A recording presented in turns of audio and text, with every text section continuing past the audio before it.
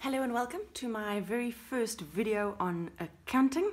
My name's Ellie and you might know me from my economics videos. Thank you so much for all the comments, it's awesome. Um, I was really scared to, to try and explain accounting, but because you guys are awesome, I'm going to try.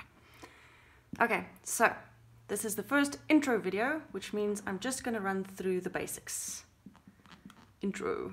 Okay, so what is accounting? Except for a big scary monster that makes you lie awake at night. Okay, so except for being a big scary monster, accounting is all about count, counting. It's all about counting the money. Okay, so it's a way for the for any business to record transactions and to save information for later on. I'm going to start by explaining it using a very simple example um, of pizza. So I still love pizza and my love for pizza will never change. And there is our pizza. Now we are going to start a pizza shop. So there's the shop. Okay, now what do we need to have this shop? Okay, what kind of money is going to go in and out and this and that? Okay, so I'm guessing we're going to have rent that we will need to pay. I am guessing we are going to need a scooter to deliver the pizza. I'm guessing we're going to need ingredients. So we're going to need stuff to make pizza with. Okay, stuff for pizza. Okay, and we're going to have uh, probably a driver for the scooter, so let's call this uh, staff wages, salaries and wages.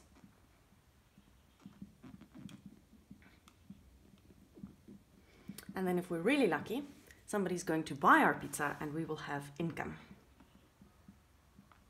Income. Okay, so here's just typical things that we will be recording for our pizza shop. Okay. Now with accounting, there's uh, like a crypt note thing that I'm going to teach you, but we'll talk about it in the next 10 videos. So it's not, you don't have to understand everything immediately. But there's a formula in accounting that states, let's put it this side, that uh, equity equals assets minus liabilities. Okay, equity equals assets minus liabilities. What I'm so let's have a look at these things we have here and where do they fall. So rent is something that we have to pay monthly.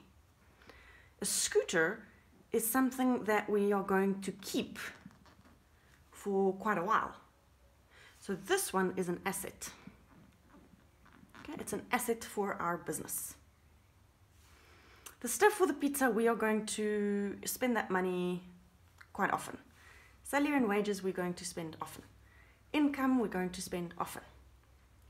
I think to buy the scooter, because we won't have enough money up front, we are going to borrow. So here we will have a loan to buy that scooter with. So that's a loan at the bank. That is a liability. Okay, so this is our typical pizza shop business.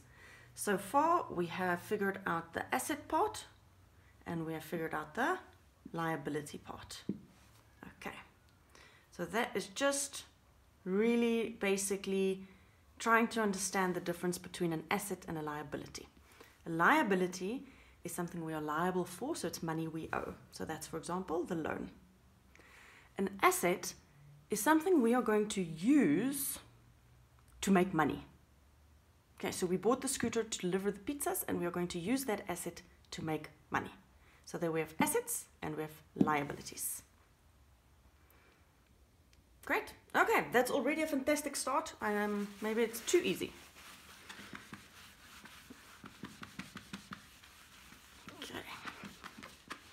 Let's clean this up. All right, now there are two very important or very big um, statements in accounting. So the first one used to be called an income statement, and the next one used to be called a balance statement, a balance sheet. But now they have very long, very fancy names. This one is now called Statement of Financial Position. This one. Statement of Financial position at, and then there's a date. Okay, so statement of financial position at. And on this side, we have another one. Let me just find that name. Statement of profit and loss, or something like that. Statement of profit and loss. And I think there's another thing like and comprehensible income or something, something, something. And then for the year ending. And then a date.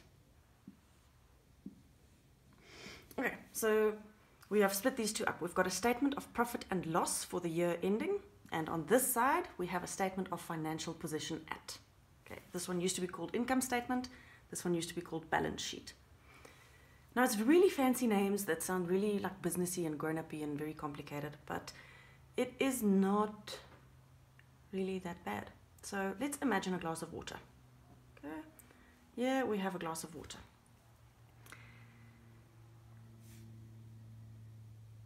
Let's say the glass of water is at the moment half, half full because I'm optimistic. So this glass of water is half full. The balance sheet will tell you that this glass of water is half full. Okay, so it'll at a certain date, so at June 2018, this one is half full. Okay, so it's an exact, it's an amount that's quite fixed. Whereas this side will say other things. This one might say, we added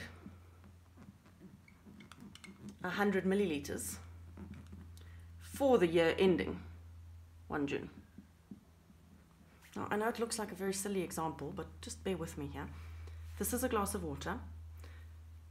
The statement of profit and loss will tell us how much we added during the year or how much we took out if there was a loss. So if there was a profit, we added, and if there was a loss, we took out. Where on this side, the statement of financial position will give you the end result. Okay, it'll say it is now half full.